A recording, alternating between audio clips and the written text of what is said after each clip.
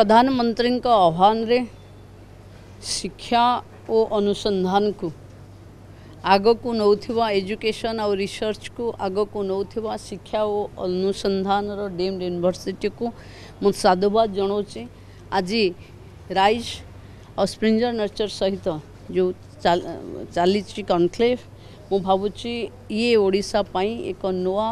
जो विकसित ओडार स्वप्न आम देखुचु आप रास्ता निर्माण कर सहायक हम आज यहाँ पे भुवनेश्वर में एसओए में बहुत ही इम्पोर्टेंट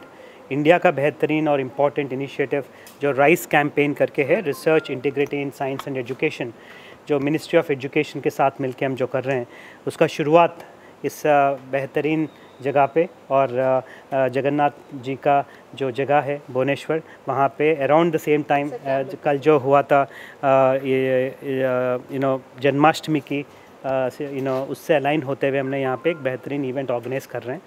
ये इंडियन एजुकेशन में हायर एजुकेशन में ये बहुत ही बड़ा स्टेप है रिसर्च इंटीग्रिटी को प्रमोट करना बिकॉज़ इंडियन एजुकेशन आज की हिसाब से इंडिया थर्ड नंबर पे है चाइना यूएस के बाद इंडिया रिसर्च आउटपुट में थर्ड नंबर पे इंडिया बैठता है। और इस जैसी कंट्री में जैसे नरेंद्र मोदी जी ने भी फिफ्टीन ऑफ़ अगस्त को बोला था रिसर्च और एजुकेशन को बहुत ज़्यादा इंपॉर्टेंस देना चाहिए। उनकी प्रोग्राम और स्कीम्स में एजुकेशन और रिसर्च को सबसे ज़्यादा इंपॉर्टेंस और एक बैकबोन माना जाता है। उस रिसर्च को कैसे हम एक क्वालिटी की ज़रिए से हम दुनिया भर में ले जाएँ, जैसे रिसर्च इंटीग्रिटी का प्रयास ये है कि बेहतरीन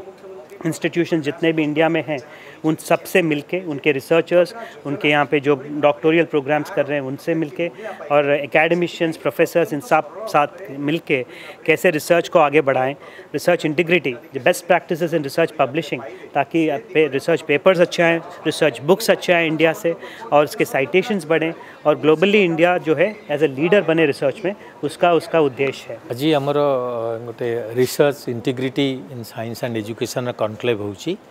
आम स्प्रिंजनर सहित जॉइंटली कराऊँगी आज आमर भारत में रिसर्च पब्लिकेशन बहुत बढ़ी गत पाँच वर्ष भितर चौवन परसेंट आमर ग्रोथ होती आमर जो ये ग्रोथ होती आम केमती इंटीग्रिटी रखू तार एथिक्स रखू क्वालिटी पब्लिकेशंस करूँ से आम प्रचेषा हवा दरकार यहाँ गोटे स्प्रिंजर नेचर जे ये रिसर्च इंटीग्रिटी रखा जाऊ सो दैट